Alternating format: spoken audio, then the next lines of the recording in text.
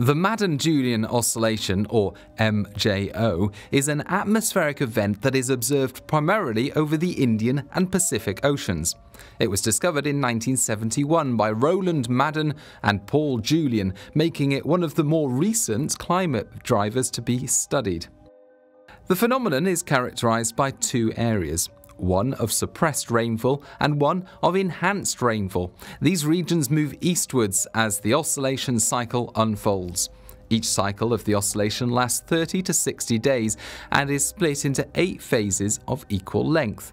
The phenomenon usually first becomes apparent over the western Indian Ocean, and it remains evident as it moves over the very warm ocean waters of the western and central tropical Pacific.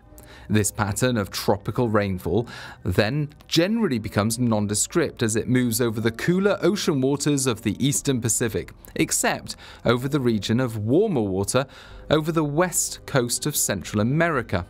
Occasionally it reappears at low amplitude over the tropical Atlantic and higher amplitude over the Indian Ocean. Most of the rain in the tropics comes from convective clouds, a type of cloud that sits high in the atmosphere and emits little long wave radiation. Because of that, satellites with infrared sensors are easily able to detect and track the propagation of the regions of unusually enhanced or suppressed rainfall. The breakdown of the phases is as follows. Phase 1 Enhanced rainfall develops over the western Indian Ocean. Phase 2 and 3. The enhanced rainfall region moves slowly eastwards over Africa, the Indian Ocean, and parts of the Indian subcontinent. Phase 4 and 5. Enhanced rainfall has reached the maritime continent, that is to say, Indonesia and the West Pacific. Phase 6, 7, and 8.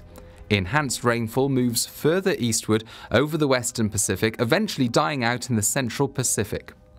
The MJO affects global weather in several ways. Both the onset of and breaks in summer monsoons are linked to the MJO phase, especially in the case of the Indian and Australian monsoons. There is also a strong link between the MJO phase and tropical cyclones. The region of increased rainfall is favourable for the development of cyclones.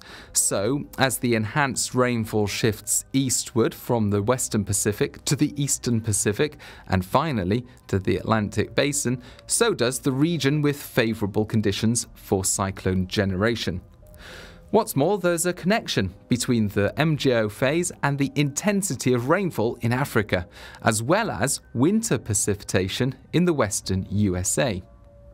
Evidence suggests the MJO can also contribute to the speed of development and intensity of El Nino and La Nina episodes, as well as influencing the onset of sudden stratospheric warming events.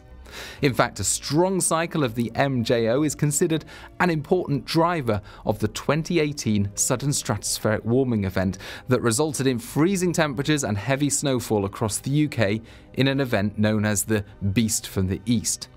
The MJO not only enhances the predictability of tropical weather, the teleconnections to the middle latitudes can also enhance the predictability of mid-latitude weather systems, up to several weeks ahead. It influences European weather by affecting the North Atlantic Oscillation.